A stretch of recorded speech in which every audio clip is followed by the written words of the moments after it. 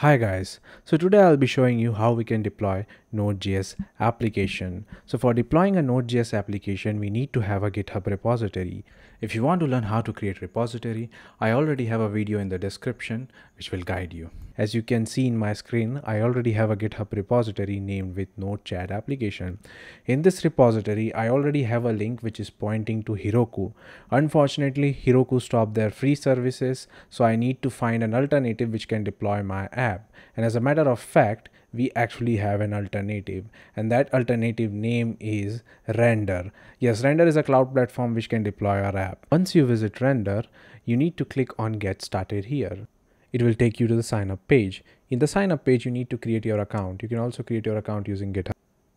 Once you're done with account creation process, it will show you all the services which it offers. And trust me, most of these services you can use it for free I'll be using web services since I need to deploy a Node application. Once you click on web services, it will ask you to connect your repository. Since mine is linked with GitHub, I'll click connect account here. After clicking on install button, I should be able to see all the repositories. Since my repository name was node chat application, I'll search with my repository name here. Once you find repository, you click on connect and then you have to fill in some details here. Firstly, you have to name your app. I'll be naming my app as chat here. Then I'll select the region. Since Singapore is the closest region to my area, I'll select Singapore. Then you have to select the branch. I'll be using the master branch by default. Then you have to select the root directory. It should be the location of package.json. In runtime, I'll keep it as node because our application is on node.js. I'll also keep the build command as yarn. It will install the package.json. And for the start command, you know, you can find the start command in the package.json under the scripts. In my case, it's node server slash server.js.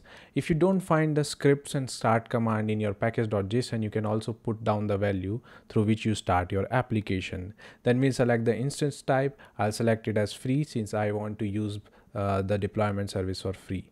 I'll create the web service and here we go.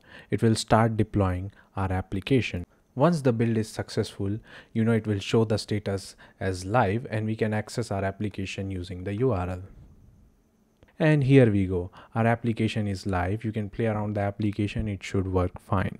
So if you like the video guys please press on the like button. And if you have any doubts you can comment on the comment section. Thank you for watching the video guys